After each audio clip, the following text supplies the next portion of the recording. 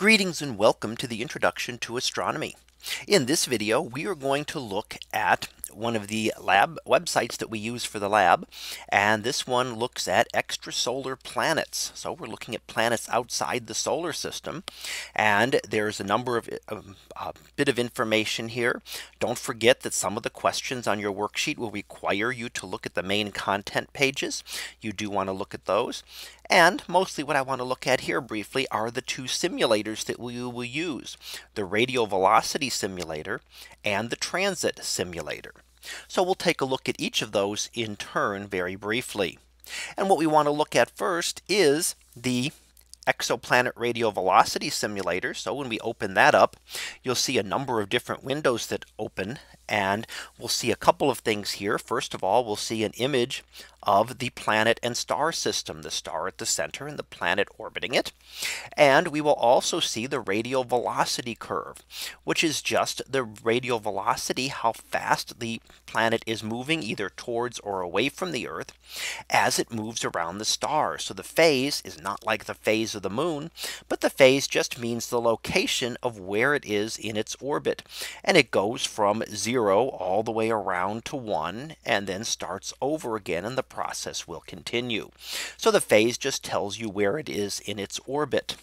Now there are a number of different things to look at here.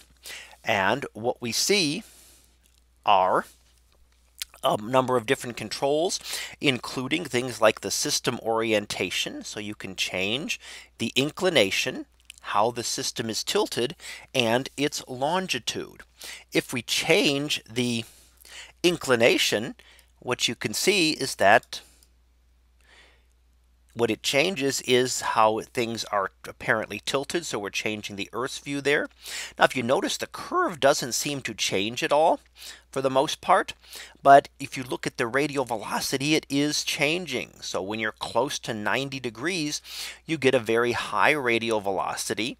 And as you bring that down to smaller and smaller values, the radial velocity in a de will decrease. So it's a lot harder to detect a planet if it's not tilted at 90 degrees and 90 degrees means we're really seeing it edge on as you can turn here at 90 degrees we're looking at it edge on so that a star is coming right towards us and then right away from us. And that will give us the maximum value of the radial velocity. We can still detect it at other inclinations. So if we are looking at it at another inclination, we're not seeing it edge on, we're seeing it at some other value, then we're going to get only a, a lower limit on the mass of the planet when we try to determine that.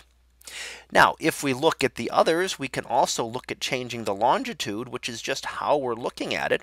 And you can see how that kind of shifts a little bit as you're coming around depending on the orbit, but mostly changes the uh, positioning as to where the phases are. Now we can also change things like the star properties. So if we look over here at the properties of the star, right now it starts out with a star of one solar mass. Well, we can change that if we like. And that can then be make it a higher or lower mass. And what we want to do is look at how that will change the radial velocity. So if we make the star more massive, the radial velocity becomes less.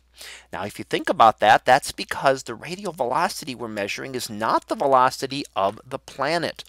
We are not getting the radial velocity of the planet here, but the radial velocity of the star. That's the object we can see.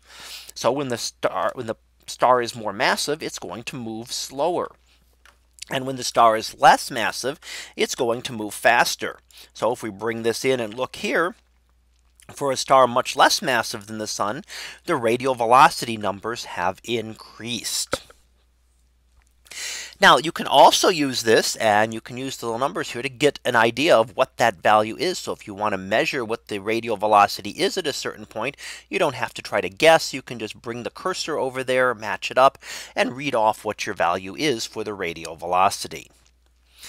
Uh, some of the other things that we can show here are you can change things like the mass and semi-major axis and eccentricity of the planet.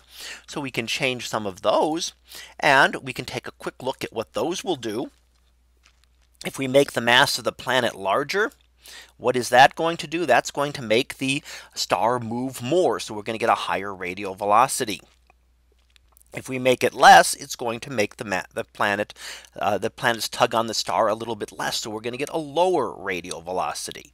So it's going to be a lot easier to detect a very massive planet than it is a very low mass planet. What happens if we change the semi-major axis?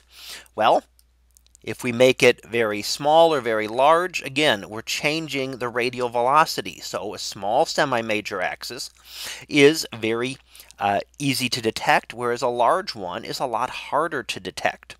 One of the other things to look at in this is that it also gives you the system period. This is also very important because it takes time to be able to make these observations. You have to observe a complete cycle and generally several complete cycles to be confident that there is a planet there. And in this case, if we observe it for 245 days, that's a little less than a year. That's something certainly doable. However, if we look for some of these very large ones, we are talking thousands of days, 11,000 days, and it would take many, many years just to see one cycle. So something with a major a semi-major axis of 10 astronomical units, like Saturn in our solar system, would really not be detectable at this point.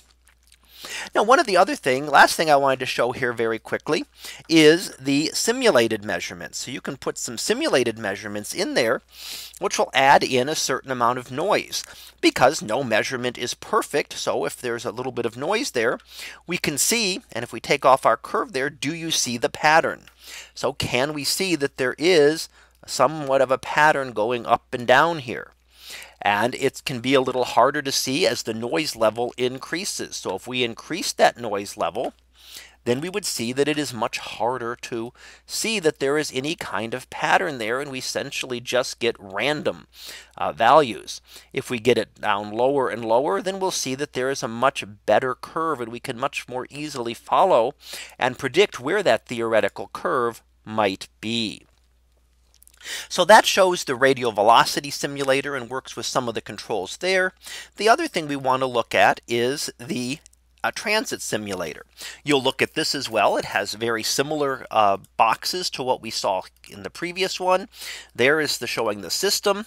And here is showing in this case, not the radial velocity curve, but the light curve of the uh, star. So how the star's brightness changed.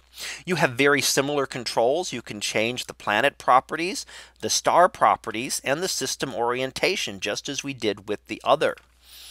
And you will do that for some of the different questions that we'll give. And it also has ways to change the to add in simulated measurements and to look at the various noise level and how many observations you want to look at. So if you change some of these, what we can see is that, for example, if you change the mass of the planet,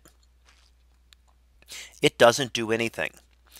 The mass of the planet would have no impact on depth of the light curve. So we want to see how far this goes down. Changing the planet mass does nothing in terms of detecting this type of planet as it did with using the radial velocity simulator. What if we change the size of the planet? Well, we do see some changes now because we are looking for an eclipse. And that would be how much of the star is this planet blocking out? Well, if we make the planet bigger, larger in size, then it is going to block out a larger percentage of the star's light, making the light curve easier to see.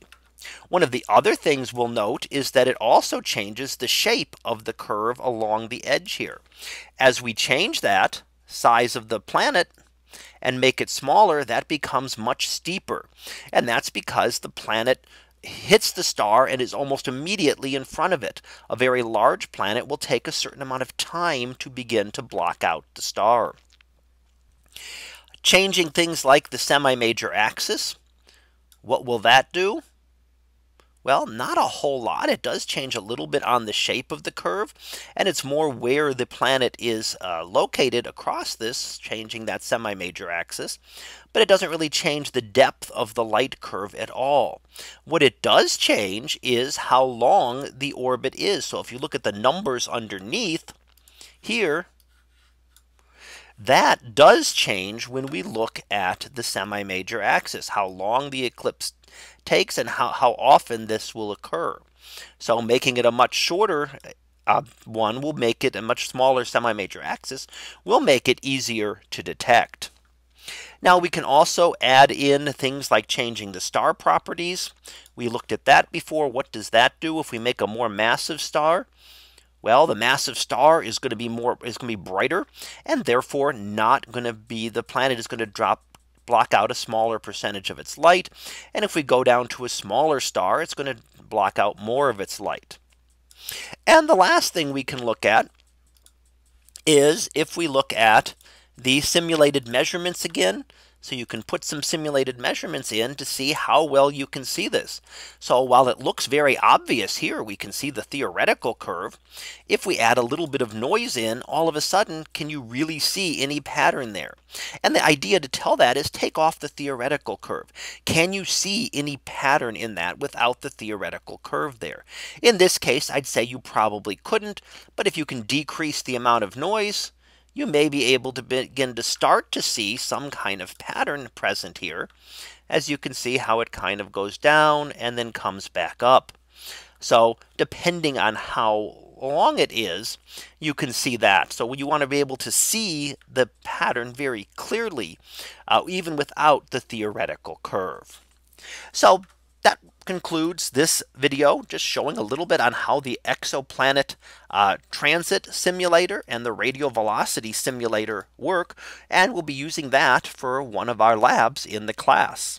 So and uh, we'll be back again next time to look at another one of these labs. So until then, have a great day, everyone, and I will see you in class.